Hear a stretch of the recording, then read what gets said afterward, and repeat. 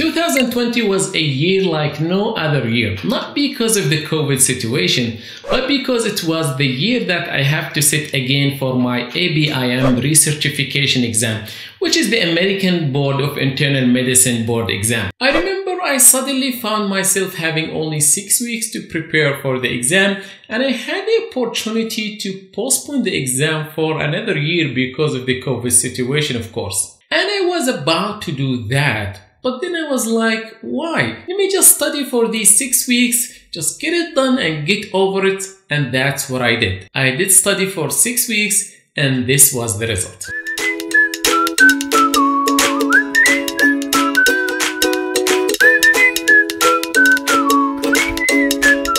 So how did I pass the exam by just studying for six weeks? That's what I want to share with you in this video today how to smartly prepare for the ABIM exam, the American Board of Internal Medicine exam. I have a few practical steps to tell you about. These steps should give you a clear guide in your exam preparation journey. Before we start, make sure to hit the subscribe button and to push the notification bell so you can stay up to date with our videos as soon as they are released. Let's start. First, how much time do I need to prepare for the exam? Preparing for the board exam is an ongoing process starting with your first day in internal medicine residency. In the first two years, work on improving your general internal medicine knowledge along with solving board style questions from time to time. Again, the goal of this kind of study is to improve your internal medicine knowledge and become a better internist. Now, during your last year of residency, your study style should shift to what we call exam-oriented study, which is different. Here you solely focusing on things that can help you rule in or rule out some answers, looking for clues and hints in the questions. And in this year, you should put more time solving board style questions. At minimum, make sure you have six months to do this kind of exam oriented study, especially if you are sitting for the exam for the first time. Don't leave it to the last three months and definitely don't do it like me by just studying for six weeks. So make sure to plan your time well and don't stress yourself with time. Second, what to study?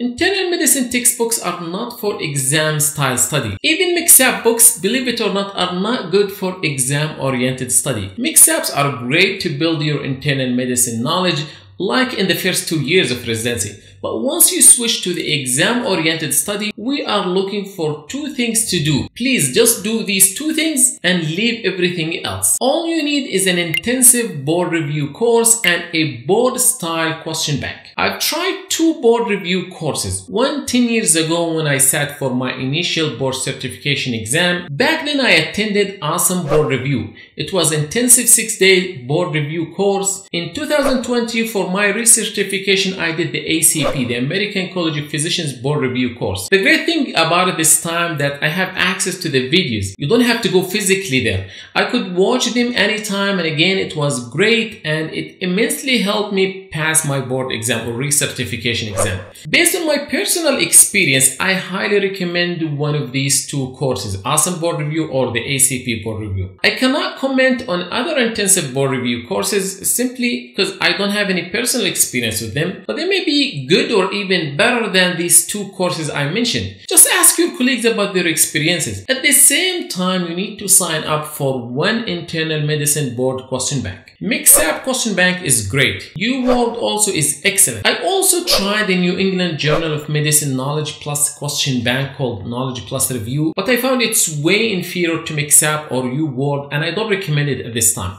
Again, these are the ones that I tried personally. I'm sure there are other great questions banks, so just ask around. To be clear, I have no sponsorship or anything to disclose with these courses or question banks. Again, you need one board review course and one question bank. Don't try to do more than one of each. This can greatly distract you and decrease your concentration. Third, repetition. Study the board material and repeat as many as you can. Study the board review course material at least twice but the more you repeat, the more the information sticks in our mind. Also do as many questions as you can. That's why having adequate time is very important to prepare for the board exam. Fourth, please carefully study the exam blueprint. Exam blueprint describes the weight of each topic in the exam, which I mean the number of questions in each specific topic. As you see this blueprint here, cardiovascular has 14%, GI 9%, ID 9%, some other topics has 6% and other less than that.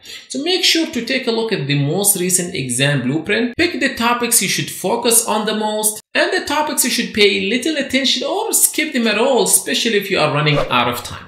Fifth, prepare well for the day of the exam. And this should start the day before the day of exam. In the day before the day of exam, you should do the following. Make sure you watch the exam tutorial. Familiarize yourself with the look of the exam as this will save you time on the day of exam because you can skip the exam tutorial and use this tutorial time for your break times. Make sure to know how to mark a question and how to come back to it. Also, in the day before the exam day, put your exam day schedule. When and how many breaks you are going to take during the exam day. So don't leave it to randomness. Plan this ahead. Now, during the exam day, please do the following. Always start by reading the last part of the question to know what they are asking about from the get-go. This can save you a lot of time and get you to the right answer very quick. Second, please don't get stuck on any questions. Mark it, leave it, and then come back to it. Please never leave any questions blank. Even if you have no idea about the questions, Always pick an answer and don't leave it blank. Once you are done with the block, forget about it. Don't think about it at all, regardless if you did well or bad on that block. Just focus on the next block. At the end, I wish you all good luck. I'm very sure by following these tips I mentioned, you will be able to pass your board exam without any problem. If you found this video useful, please pass it to your friends and don't forget to give it a like and of course subscribe to our channel. Thanks for watching.